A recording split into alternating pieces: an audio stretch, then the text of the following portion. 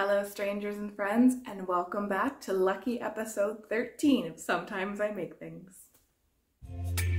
Baby, you give me ice and fire. You're giving me wind and rain. You're some kind of butterfly. Like I said, hello, welcome or welcome back to my channel. Sometimes I make things where I primarily talk about knitting. Sometimes some other things work their way in. My name is Grace and I go by she, her pronouns. And today we are going to be looking at the state of my stash. So as many people have probably heard about or thinking about themselves, a lot of people make the resolution in the new year to only knit from stash or to knit more from stash. And I'm someone who fits into that category. So stash, if you're not familiar, is yarn that you already own, you have in your possession. A lot of my yarn I bought, I'm looking over here because I have it laid out on a beautiful table, it's lovely. Uh, a lot of the yarn that I have purchased in the past, I have had specific patterns in mind. I don't tend to buy yarn unless I have something in mind for it. And there are some folks who love to have a massive stash. I am someone who gets a little stressed out though when my stash starts getting large, just because I start thinking I have all these things I have to do or this money that I've spent that I'm not um, making the most out of. So for me, um, this is a goal that I've had in previous years. It's a little hit or miss. Your girl loves to spend money on yarn.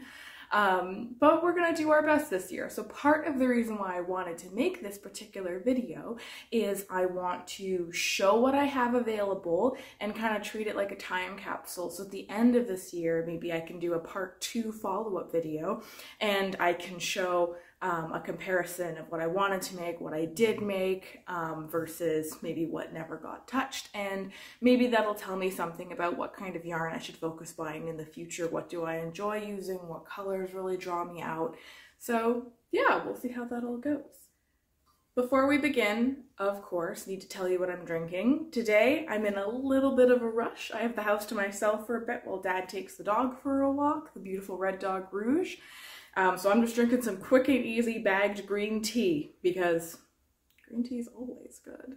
Also, before I get into the yarn loveliness, today I am wearing my Sheer V sweater by Jessie Mae and I knit this in Knit Picks palette and Knit Picks Aloft in the color Hyacinth and Pennyroyal. Yes, uh, this is one of my favorite sweat. I mean, pretty much every sweater I made last year is a favorite sweater. Um, but I'm very happy with the fit of this. I think the color looks quite nice on me and yeah, very comfy, very soft. And uh, the sleeves can be a little impractical at dinner time, but when you're not eating food, they're excellent. So let's get into the yarn now. To get things started, I was thinking of doing stuff kind of in a season. So what do I want to do in the winter, the spring, the summer, etc. No hard and fast rules, and these are general ideas for the year. I would love it if I could get through all of these, um, but what I have in front of me is enough to keep me busy for the whole year knitting, I'm fairly certain. Um, and it's not unlikely that I'll get distracted by other pretty shiny things, so bear with me.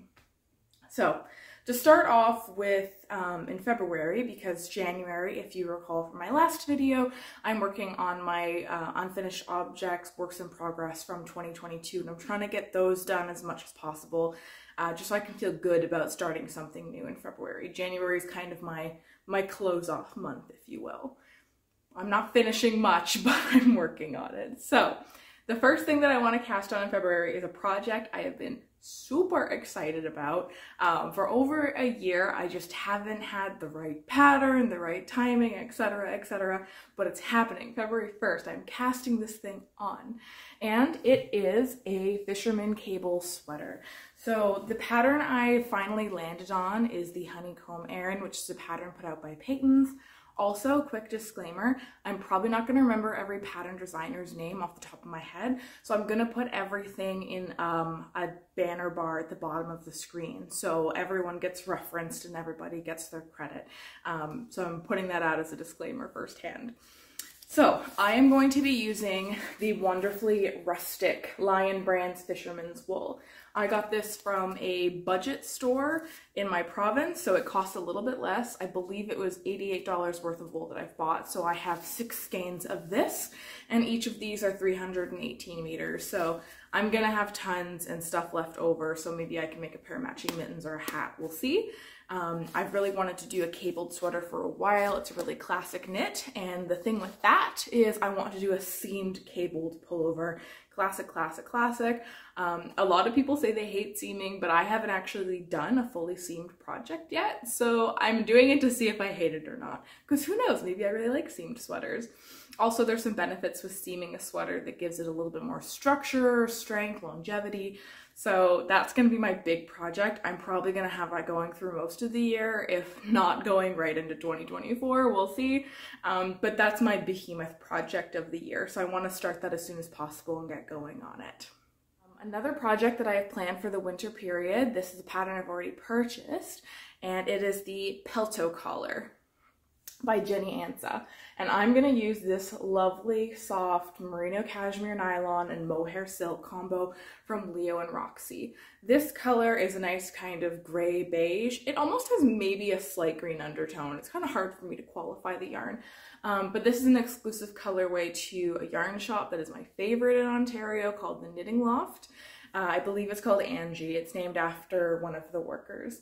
Um, so the Pelto collar is this wonderful um, dip stitch brioche uh, turtleneck dicky. And every time I, I saw it for the first time and I immediately fell in love with it. It was the first pattern of Jenny's that I ever saw and I bought it and I'm so excited to make it. And I bought this yarn with that specific intention. Um, I think it's going to be so soft and light and the merino cashmere nylon, mohair silk, it's just going to be such a luxury to wear. So that one's really high on my list to cast on as soon as possible. I think it'll be a nice winter project um, to have done before the spring comes along. So with those two projects, probably by the time I'm getting done on them or got some progress going, the spring's gonna start happening. Um, usually spring weather starts popping up late April, early May, um, so we'll see what the progress is like there. Um, but I have quite a few ideas involved for the spring period. The first one is the Earth and Air sweater by James N. Watts. And for that, I have this very funky combination of pure white Cascade 220 and this vibrant, vibrant purple pink from um, Pew Pew Dye Dye. Pew Pew Dye Dye, Die Dye Pew Pew. I cannot remember. Skipped Threads is the name of the uh, yarn store the dye is associated with. And I just thought the brioche, the worsted lace brioche mix would look so cool with these um, very bright um, colors put together. So I'm not someone who wears a lot of white and I'm not someone who wears a lot of neon purple either. so uh, we'll see how this combo goes. I still am going to do a gauge swatch before I decide if this is really the color combo I want but I feel like this just has tons of promise. I got the Earth and Air pullover as a gift pattern after doing the Granny's Attic socks test knit for James. So I, I want to make that pattern this year and I think that'd be a nice kind of circular effect of a test knit I did in 2022 and I'm getting to do the gift pattern in 2023. Also for spring and also test knit related, I want to make the Purl Pouch by Tori Yu. And I got that pattern as a thank you for completing Tori's Manhattan Bulky pattern test knit, um, which is great. Such a win-win, two wonderful patterns. I am thinking I'm going to use this incredible highlighter yellow from Knit Picks. It's in Swish worsted, so that's 100% merino yarn. And I just think the Purl Pouch would be so funky and stand out in these. A nice thing to carry a sock project around in. And I think I want to get like a thick off-white woven cotton cord as the drawstring. And we'll see, I might try to do some sort of fabric lining just so that it's reinforced a little bit on the inside. I haven't done any sewing yet. Sewing is something I really want to learn this year. It's part of my eternal goals to learn how to sew. Um, but for now, Purl Pouch bag. Um, this one is kind of like up for potentially changing it into um, I could go for a hat with this. I don't know if it would be a little too out there. I do love my neon yellows though, so we'll see. Um, but I think this would make a really fun accessory. So most likely it's going to be the Purl Pouch, but there is a possibility this one will slide into something else. But 100% I want to make a Purl Pouch this year, no matter what color I end up doing it in. Also for spring, I have some spring socks lined up. I got this lovely um, blue-green minty uh, BFL from the Knitting Loft. They had it on sale.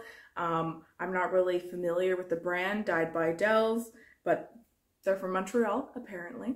Um, and yeah, I think this will be very nice. I've never used BFL before, um, and I've heard wonderful things about their sock, um, the wool's capacity for making socks. It's an 80-20. Um, so we'll see how this one goes. I think this will be very fun to do a cabled pair of socks. And um, also lace, I'm really open-minded, but just specifically, I got this because it's good for socks, and I really want to up my sock game this year. Um, I just figure I really enjoy knitting socks and I love wearing socks, so I think I want to dedicate a little more time and space in my life to making them because they are the knits that I wear the most um, and they're so portable. Big team sock girl over here. So yeah, if you have any interesting cable or lace pattern suggestions, I'm pretty open. I don't think I want to do anything with baubles just because I can see baubles being a little annoying with shoes. So something that can go in shoes because I like to wear my wool socks out. Next up, we're gonna move more into my summer knitting plans, and they are pretty broad. so where to begin? Um, my first bit here is I have quite a few um, summer tops that I want to make and usually they take me a while to knit. I don't know why summer tops just seem to linger when I'm working on them but I've got a couple planned this year so we'll see if I can make my way through them. Um, I'm really embracing the plant yarns this year. Uh, first up I have this lovely batch of Knitting for Olive Pure Silk and this is in the color Sunflower. And this represents about a thousand meters here, 250 meters per ball. Um, and what I want to make with this is one of Knitting for Olive's own patterns, the Olive Top. It's this wonderful, uh, I, I don't know if it's lace or cable. I don't really know how to classify the stitch, but it's basically these shaped leaf patterns um, all throughout the top. And it's a simple V-neck on the front and the back. Um, it's mostly just that pattern, that texture is what uh, I'm really looking for there. So because that stitch does take up quite a bit of yarn, I'm hoping this will be enough to make it. Um, it's a possibility I might need to buy another skein, but I'm really hoping to make it work with this amount because a thousand meters should be enough. Uh, it has a nice I-cord straps as well, so I think it's going to be a really nice piece. Um, I'm not sure when I'm going to cast this one on, if this will be my first one or not, but uh, this is definitely a pattern that I would like to be able to wear for the summer. The other summer top pattern I have in mind is another one by the lovely Jenny Ansah, which is, whoop, her Lupiini top. And this yarn wants to disobey me. It is falling apart constantly. uh, but this is Lovetand by CaMaRose. It's a linen yarn in a chainette style and I'm really liking the feel of this yarn. It has that right crunch that I want from a plant yarn and I can tell it's going to soften up nicely. Um, someone on the Ravelry project pages used this exact yarn and I quite liked the effect that it gave off. So um, again, it's a simple v-neck front and back. The strap design is different, plain knit, and then it has baubles and lace around the hem to give an effect of flowers and leaves and it's so lovely. So that's one that I'm very excited about as well. The third summer top that I want to make this year is by Jessie Mae, the Diaphanous Raglan, but this time I want to make it short sleeve with a nice ruffle effect on the edge of the sleeve. And for that I have this fantastic combination of black yarns. Um, these skeins here are Pimabold by CaMaRose and this one on the end. I am blanking on the name of the yarn, but I'm to put it in the down bar and it is Tencel, which is very soft and light. Um, together, I think these would be fantastic. Um, I actually tried to knit this top last year, but I ran into some problems with my work in progress. But basically, this is the corpse of my whip. Um, it's not really worth trying to unwind it and salvage the yarn at this point, just the way the top is constructed, it's quite difficult to frog it. Um, but basically, I had the Tencel alone, Tencel alone as um, my kind of the section you do mohair in and then I was using the cotton on the edges and I really like both of them. They feel lovely. Um, maybe I can show it here. But the problem with it is with the tencel it snags incredibly easily and then you can just pull it. Like that took absolutely nothing. Um, so this originally happened I had a zippered project bag and it just tore it basically so you get these welts that'll run through the tencel. It just doesn't have the fiber attributes to cling to itself. So I don't want to spend hours and hours knitting this top and then have it snag on like a tree branch or someone's zipper or a ring. Um, and then the top is basically ruined because I tried fixing it, um, like undoing that pull, and it's very difficult. So I think what I'm gonna do instead of having that separate uh, section, I think it looks very nice, but it's just not practical. Um, I'm gonna knit the tencel and the cotton together. So I'm gonna hold them double and I think that'll lend the silkiness of the tencel with the softness of the cotton and I think they'll work together better than they could have alone. So I'm not gonna have as much of a sheer window on the sleeves, um, but I wanna use the yarn and I think this is the way that makes the most sense. So please cross your fingers for me that it's not a disaster like this one was because while I was knitting it, um, it was like my favorite whip that I'd had in a long time. This yarn uh, is a delight to work with and the pattern is very fun. And I just think a black summer top would be very cute and very classy. So I want it. so please send me all the good energy for that one because I think it's going to be a bit of a mental trial if it doesn't go well for me. While I imagine that those three summer top patterns are going to keep me quite busy through the summertime, if not earlier in the, in the year, I do have a little extra project that I think will be fun to do for the summertime, and it's another pair of socks and it's going to be a pair of shorties in these fantastic colors by Jawoll. So these are 75-25 wool and nylon, and I think there is a fantastic amount of contrast between these two skeins, the static of the black and the white, and the neon pop of the yellow. I really want to do shorty colorwork socks, very similar to um, the pair that I shared in my last video, um, kind of had my own color work um, around the arch of the foot and around the toe to kind of blend the colors together. Um, and with that, I just really want to show off the contrast between these yarns.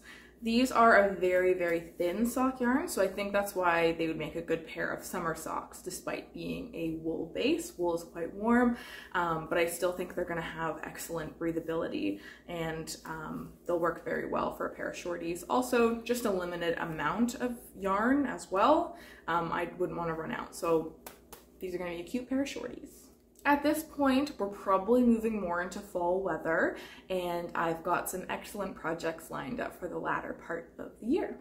Now, this is also on the sock front. I have quite a few socks planned this year, uh, but I have this fantastic skein of Kats Kettle hand-painted yarns. I won this yarn in a giveaway that Elise Made ran in late 2021, and the color is called Crackle, and there's just these wonderful mix of light and deep reds. There's some speckling of orange and black, very much like a fire. And I can just imagine the leaves turning all beautiful shades and working on these wonderful fiery socks. So again, don't have a pattern picked out. Maybe the cup of tea socks would work very well with this yarn. Um, but I'm pretty open to ideas on this front as well. It's a 75-25, so I think it would hold up quite well um, to being used as a sock yarn, and the yarn itself is very soft, so I think these would be an absolute treat to wear on my feet. Now, this next project is also a bit ambiguous, but I know I want to use this yarn in 2023 if I can, and it's either going to be socks or a shawl, but I have this, it's kind of a gradient, from Knit Picks. These are Knit Picks Hawthorne. I won this skein and this skein in that same giveaway that I won the previous red skein in. And the middle one I purchased late in 2022 as part of a Black Friday sale. These colors are Newport hand painted Mount Scott, and Klamath Falls. So they have a nice crisp feel to them. They're not as soft as other um, yarns that I have this year. That's why I think they'd be really good for socks. And I like the idea of thick banded stripe socks, like maybe um, seven rows or 10 rows of color um, going down this way, this way, etc. Um, but I haven't made any like thick stripy socks yet, so I think this would be um, good yarn for that. But I would have a fair amount of yarn left over if I made socks out of these three skeins. So um, that's why I was also thinking maybe a shawl could be a fun thing to do with some bobble work and color work, etc. Um, so yeah, these ones I'm not 100% sure, but I think these would be an excellent project for fall with their deep moody colors. The next um, pattern yarn combo I want to talk about is a pair of fingerless gloves, which I haven't knit fingerless gloves before, but it's something that I'm really looking forward to doing this year if I can. I got these two wonderful skeins from Wabi Sabi in Ottawa when I went to visit my friend Corinne in early 2022 and I think they have a beautiful contrast. I love this kind of shade of a purpley blue um, where it's a bit ambiguous which way the color is leaning. And then this is just the most serene oatmeal color. Um, and together, I just think they give a very calming, beautiful um, vibe. so these might be ones that I end up getting too excited to wait for and cast on in the spring because even uh, fingerless mittens are great for the spring or for the early fall. Um, I'm blanking on the name of the designer, but I'm gonna put her right down here. Um, but I'm thinking of making the underwing mittens. Um, the underwing mittens are a very popular pattern, um, so you may be familiar with them already, um, but that's what I'm aiming to do with this one. If I don't end up going with the underwing mittens, I still know for sure I want to make a pattern by that designer because she has some fantastic fingerless mitts. She has one of Crane's that I think are very nice, so I could it's either going to be the moths or the cranes with this particular combo of yarn. If I do end up doing the underwing mittens, I really like the idea of using leftovers of, oops, grabbed the wrong skein, leftovers of this neon yellow for the highlights on the moths, um, because I just think that would be a really fun, um, exciting pop of neon to add into this very calm, otherwise pretty neutral combo.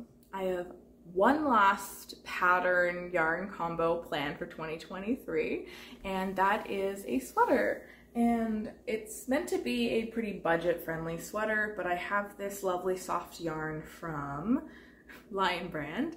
It's called Touch of Alpaca, and I want to make the Bay Pullover by Jacqueline Cieslak. This is a lovely classic dolman pattern, um, and I already have it purchased. It is ready to go, and I like the idea of um, wearing this like for a quiet winter evening even like summer evenings when there can be a little coolness in the air and you're sitting by a bonfire with friends, um, I can see the sweater fitting into my life in a lot of ways.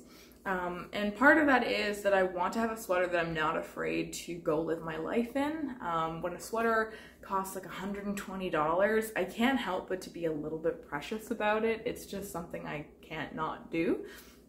So that's what I wanted to knit this very classic pattern in a budget-friendly yarn. So I got this yarn at the same time that I got the Lion brand Fisherman's Wool that I mentioned at the very beginning of this video um, from that budget-friendly location. So all in all of the skeins that I purchased came out to about $35 Canadian, which is very reasonable for a sweater even if you're buying it ready-made.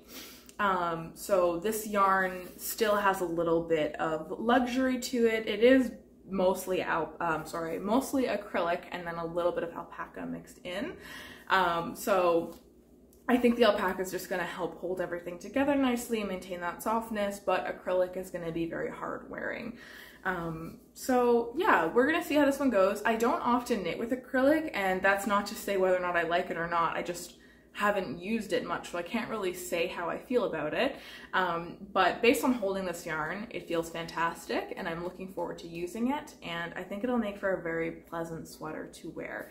So that's kind of my foray into a more budget-friendly, hard-wearing option for myself. I know that I love wool, um, but it's nice to expand your horizons a little bit. So yeah, that one I think is going to be a wonderful sweater. So I'm thinking this is probably going to be my calm, soothing winter cast on. Um, it's mostly stockinette with some cool shaping involved, and I think it'll be a nice way to end the year with doing this sweater. So there you have it. Those are my approximate plans to knit from stash in the year 2023. And as you could see, there is lots of projects for me to work on. Um, given the amount of time that I have available in my life for knitting and also how fast of a knitter I am, this is definitely enough to keep me busy for the whole year, but pretty shiny things come up and are distracting. So um, if you're planning to knit from stash this year, I'd love to hear what are some of the projects and patterns that you're really excited to uh, finally knit um, or crochet. And in general, what are you looking forward to making in 2023? Are you planning to knit from stash or are you planning to go rogue and buy everything and anything that you like? Let me know. Anyway, until next time, friends, take care, be well, and happy 2023. Today was big scatterbrain energy. I can't believe I completely forgot to mention this, but I want to reorganize my yarn shelf that I have in my bedroom to represent these um whoop these patterns and yarn combinations that I want to do this year. So I took a clip of the before of what my yarn wall looks like, yarn cabinet looks like right now, and then I'm going to pop in an after to show you what it looks like representing what I want to make in 2023.